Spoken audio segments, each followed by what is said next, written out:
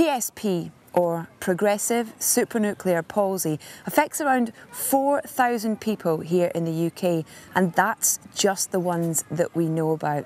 Many sufferers are misdiagnosed and when it is identified the prognosis isn't good. There's no cure and there's no treatment. Unfortunately, I've got personal experience of someone living with PSP. My uncle Ian was diagnosed back in 2010 and I've seen firsthand how he and the family cope with his illness, which is caused by the progressive death of nerve cells in the brain. Keith Swankie is also living with PSP and he wanted to speak out to raise awareness but also to raise funds for very much needed research. This is his story. It was a few years ago when he fell and he sort of went into like a jerking fit. His body would start having spasms. That's when things started to like change. Stiffness and rigidness. If he was holding things, he'd drop them. Choking. When he's struggling to breathe, that's really scary. Urinary incontinence. The left eye was and the right eye was clamping shut. Difficulty like with like movement. Changes in personality. His hands would just do what they wanted. Sometimes his speech can go. It was pretty scary when you first saw it. You certainly don't expect to be like this when you're in your 40s. I'm Keith's wife Sheila. Um, we've known that Keith's had PSP for uh, just over a year now. It was quite a shock getting the news when Sheila came home from work. I had to tell her it's such a horrible thing to have to do, to tell someone that you love that you're not going to be here. It was absolutely horrendous. We decided we had to tell the kids. It just was hellish. Just heartbreaking seeing them, you know, realising that Dad wasn't going to get better, Dad was going to get worse. And that was a very big shock to realise that I might not have him as long. You just can't do anything about it. You've got to sit back and watch and let it happen and and that's that's horrible. It is a, a very, very rare illness that people are not aware of. A lot of the medical profession struggle when you say, I suffer from PSP.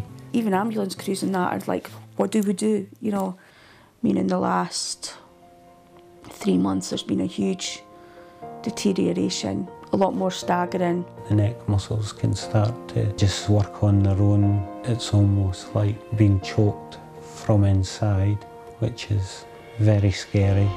And can also make it very difficult for him to breathe. But it's now at the point he's getting scared to eat and drink. It is quite frightening because like there's nothing you can do to help him. The eyesight has gotten worse. His eyes will close, maybe his face will pull. You really don't know what the next day is going to bring.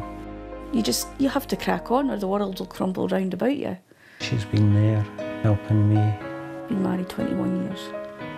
Hey, in sickness and in health, they say. She's just been a star, an absolute star.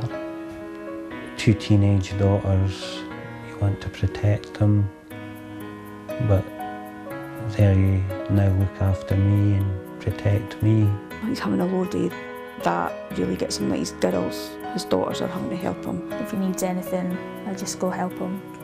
Make him juice, lunch. Simple things like grab the remote or get him a blanket or something, to things like if he's on the floor, you've got to call community alarm out and stuff like that. Nikki surprised us this year. I did a parachute jump to raise money for PSP. It was, it was amazing. so glad it was one of my better days. We were able to go along and see her face when she landed. See her face before she took off as well. So it was good being able to do something for PSP and just like raise awareness for it as well. I'm so proud of her for, for doing that. Jordan is very good at looking after me. Like on a good day, we'll go out with the dogs, guide him if his eyes are shut. Like he's got a great sense of humour as well, which sort of helps it. We just try to laugh as much as we can. When he's like having his good days and that, he really doesn't let it bring him down. He just tries to do as much as he can. I think it's amazing how he deals with it because I certainly wouldn't be like that. Although he's deteriorated greatly, still there's still very much a lot of Keith there. He won't give in to it. He was determined to do some bit of DIY. And so crutch in one hand, grinder in the other. I was like, oh my god, what if he falls? But I thought, right, okay, he's wanting to do this. Somebody later said, I hope you had safety specs on. He says, what was the point? My eyes were shut. You know what he didn't does? he just won't give in. I try not to think about like what could happen. Just be thankful it's not happened yet. I think it's starting to hit now that he is getting worse.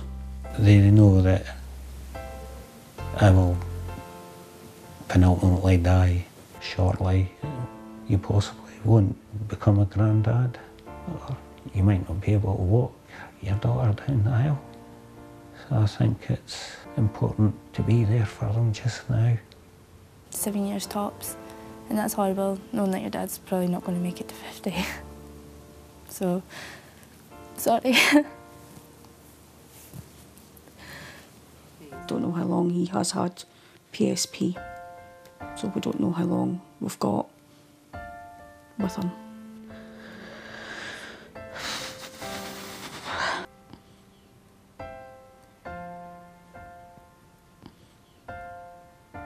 Don't think about it, just take each day as it comes and we do what we can. I suppose in the latter stages, we won't really know what's going on.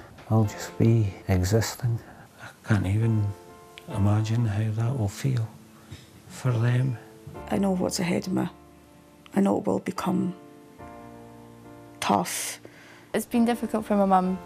I think she tries to just get on with it, but you can see it on her face sometimes when he's having a bad day. She's watching her husband deteriorate and there's nothing she can do about it. Yeah, it's really important to get his wishes and things in place before he can't talk for himself. He's told me what songs he wants at his funeral, and I mean, we'll have a laugh and joke about it because um, it's quite terrible songs he's picked. I couldn't have asked for a better wife or better children or a better family. I don't know how I can repay them or thank them for what they've had to go through, what they will have to go through. And I love them so, so much and we'll miss them so much.